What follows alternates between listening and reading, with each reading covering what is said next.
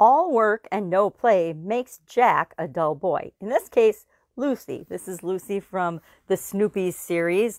And I wanted my little farmer because nobody represents hard work more than farmers, at least farmers that I grew up with.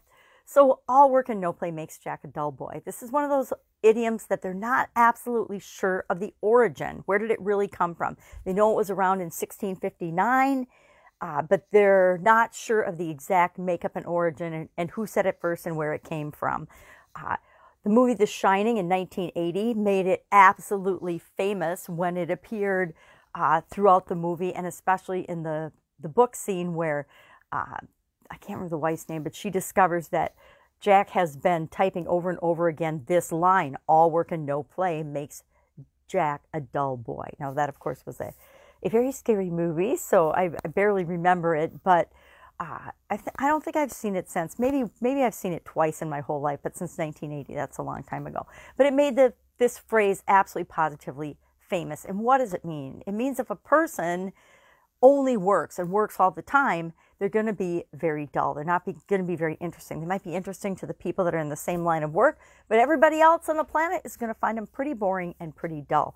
Why I picked Lucy is because Lucy's kind of a know it all, right? She's always in people's business and giving advice, which, if you focus on work all the time and all you do is work all the time, it will, it can, number one, cause burnout. It can cause mental stress and mental anxiety. It can actually kill you. How do I know?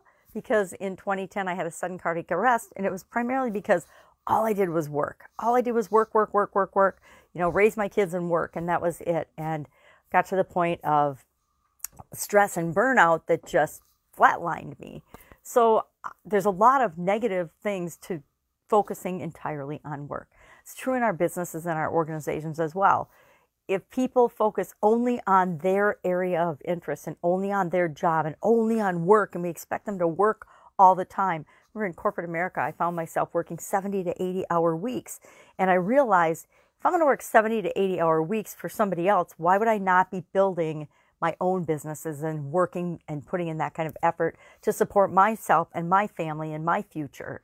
And that's what I eventually did in 2003. I was I finally left corporate America. I'd been there about 25 years and was like, all right, I've been doing businesses on the side and it was like it's time to focus my energy on my business, not on growing other people's businesses.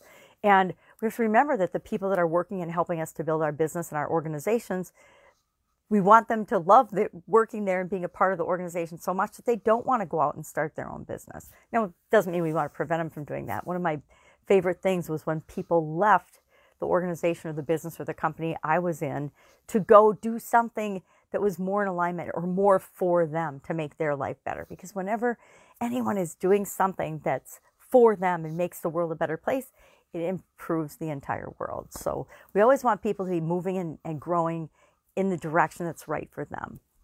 But in our companies, how do we do this? How do we in our businesses instill a little bit of play, a little bit of fun, a little bit of creativity so that we don't find ourselves creating little blocks of boring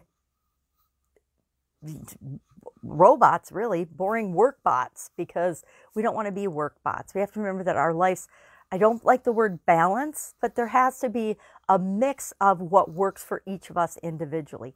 To be honest, working is my thing. I love creating things and working and doing things and trying to make the world a better place. So if I could, work would be my play and my hobbies as well. But it makes me pretty boring. If I focus on one thing, which is something we always tell people to do when they're starting out in the business world and, and, creating their business, especially online. I learned this going from the offline world to the online world is that you really need to focus on business.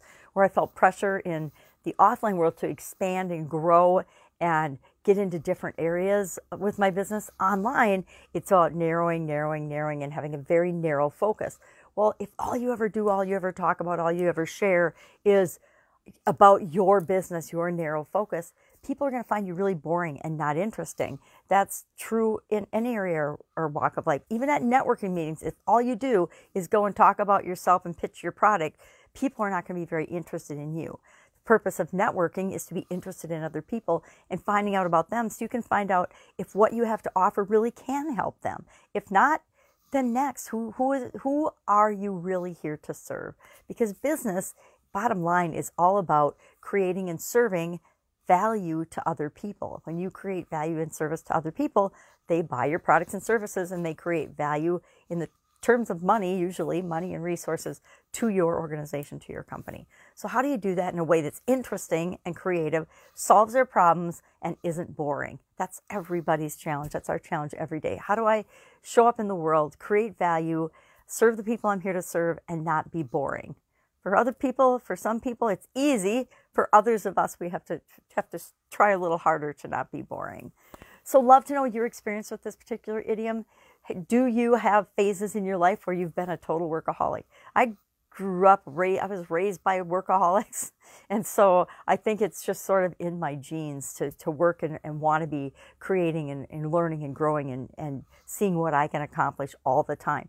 But a lot of people, that, that doesn't work for them. They need X amount of time to work, then they need X amount of time for rest and relaxation, then they need X amount of time for um, pursuing other interests. Um, there's lots of ways to pursue other interests. There's lots of ways to add creativity and fun and play and celebration and milestones to our businesses to make sure that people aren't always working and always on task. And if we're expecting them to be, then that's our mistake because we're the one growing the business and creating the change in the world. They're just playing a part and helping with it, but we can't expect them. And this is a, a thing I fell into when I was younger. I expected the people that worked in my organization to work not as hard as I did, but to work pretty darn hard and give, you know, give a, a lot of effort toward doing the projects and creating the things that we were creating together. And it doesn't always work that way. It doesn't always work that way with our, our employees, our partners, our teammates. Everybody is coming at the situation from a different point of view, a different level of experience, a different level of motivation and participation. And we have to be um, able to figure that out and balance that to keep it interesting and fun and exciting for everyone. All right, have an amazing day. I'll be with you tomorrow with another interesting idiom. What does it mean?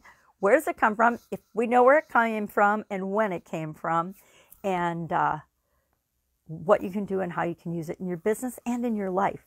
Love to know how many people actually have seen The Shining and uh, what you think about that movie. I still certain hotels I'll walk in the in the alley and I'll be like, oh no, it reminds me of The Shining or it reminds me of some other scary movie. All right, have a great day. I'll be with you tomorrow. Bye.